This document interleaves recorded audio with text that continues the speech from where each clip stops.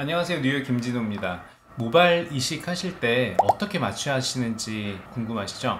수술 받으시는 분들이 빠지지 않고 하시는 질문 중에 하나입니다. 어떻게 마취를 할까요? 그냥 국소 마취가 기본적으로 일단 많이 하는 방식이고요. 그리고 수면 마취, 뭐 수면 유도 마취 뭐 여러 가지 우리가 해볼 수 있죠. 그래서 크게는 그냥 국소 마취 그리고 수면 마취 두 가지로 나눠서 설명드릴 수 있을 것 같아요. 병원마다 좀 다릅니다. 병원마다 그냥 수면 마취를 하지 않고 국소 마취만 하고 어, 모발 이식을 하는 병원도 있고요. 수면 마취를 100% 하는 또 병원도 있습니다. 각각의 장단점이 있어요. 어, 국소 마취는 일단은 큰 문제가 생길 확률이 좀 적죠. 수면 마취는 간혹 인터넷 같은 데서 보실 거예요. 어, 의료사고가 났다 할 때 수면 유도를 해서 벌어질 가능성이 아무래도 조금 더 높습니다. 뭐 아주 높은 건 아니지만 약간은 증가할 수 있어요. 뉴스 같은 데서 마시는 프로포폴 우유 주사라고 하는 이런 거 가끔 나오잖아요. 근데 그런 프로포폴을 특히 쓰게 되면 호흡이 약간 떨어지거든요.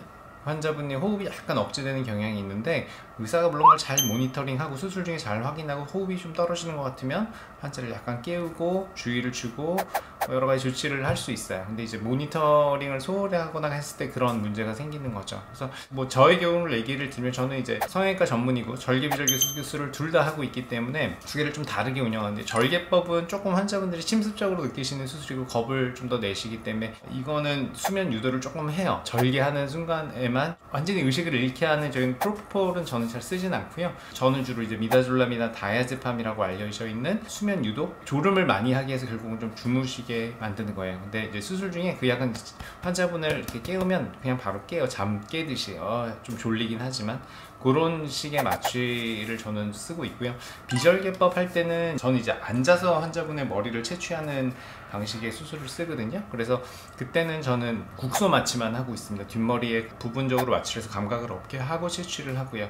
앞쪽 할 때도 이제 국소 마취만 하고 이식을 하고 있습니다. 이거는 뭐 병원별로 조금 틀릴 거예요. 제 상황을 설명드린 거고 모발 이식에서는 국소 마취, 수면 마취 둘 다 의사나 환자의 성향에 따라서 적용시킬 수 있다. 뭐 이 정도로 이해하시면 좋을 것 같습니다.